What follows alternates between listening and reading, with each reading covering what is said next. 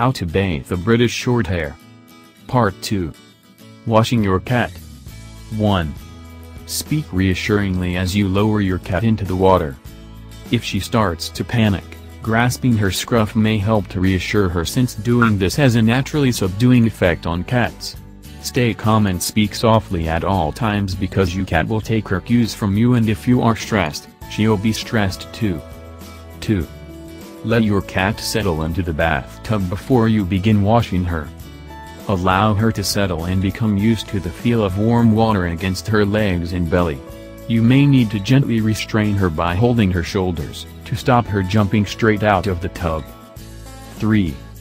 Rinse her fur with water. Once she relaxes, use your hands to drizzle water over her back and shoulders. As she starts to accept this, you can pick up the jug and use this as a scoop to thoroughly wet her coat. Don't forget to soak her neck and brisket areas. Take care not to get water in her ears or eyes. In theory, putting cotton wool in her ears should work to stop water from entering her ear canals, but cats are likely to shake the cotton straight out so doing this is likely to be a waste of time. 4. Decide whether or not you are going to shampoo your cat. With an indoor cat it is not always necessary to use a shampoo since her coat is unlikely to be heavily soiled. Simply rinsing her with water should do the trick. However, for show cats or those who roam, use a shampoo specifically designed for cats. Ideally, choose a shampoo that is not perfumed, because cat skin is very sensitive, and does not contain insecticides, which are potentially irritant. 5. Lather the shampoo into your cat's coat. Pour a small amount of shampoo into your palm.